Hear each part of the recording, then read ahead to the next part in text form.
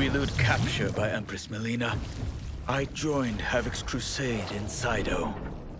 There, I summoned more magic than I thought possible, and drowned out the old regime. Havik's longed for anarchy had been achieved. He was more than satisfied.